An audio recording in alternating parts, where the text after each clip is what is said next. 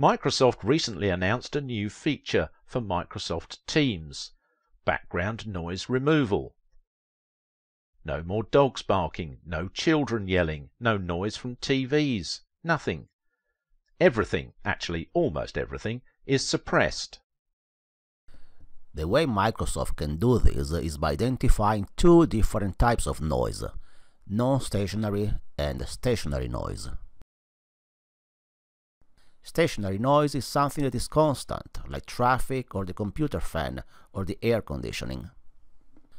Non-stationary noise is more challenging, but it includes noises like the ones you hear in the background.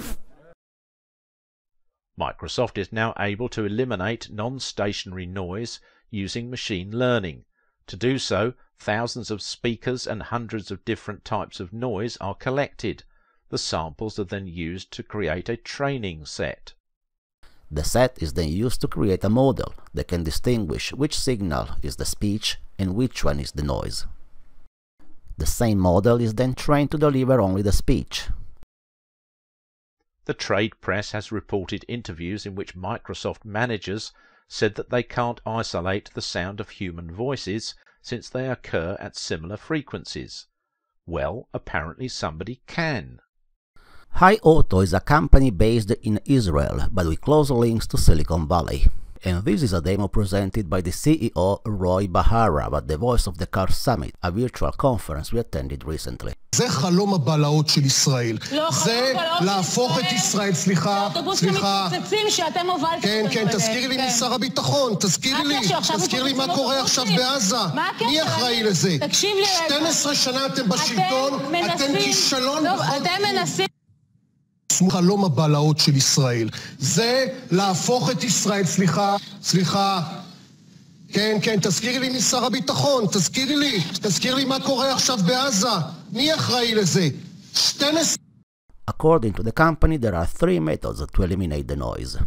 One is to use a machine learning algorithm, as Microsoft does, which, as we have seen, cannot isolate other speakers. A second solution is to use multiple microphones, which is effective but costly and cumbersome, since every speaker has to have its own microphone. And then there is the HiAuto approach, using a camera for lip reading. Let's hear it from the founder. Uh, we are using a camera and a microphone and a deep learning algorithm that is tracking the lips of the speakers and then is able to extract from the overall noisy sound the audio track of the specific speaker. So for example, in this uh, Zoom call, if you know both of us are talking, we can actually create two separate uh, streams. And if there is ambient noise, all of this ambient noise would disappear. The technology has been developed mostly for the car industry and for a future scenario in which self-driving cars can understand voice commands. Here is another example. I want a large cappuccino. I want an espresso with soy milk. Can I get your tickets to the Grand Canal Station? Find Thai restaurants next to 21st Street. Find Mexican places with at least four stars in their Okay, this is the I want a large cappuccino. I want an espresso with soy milk. Can I get your tickets to the Grand Canal Station? Find Thai restaurants next to 21st Street.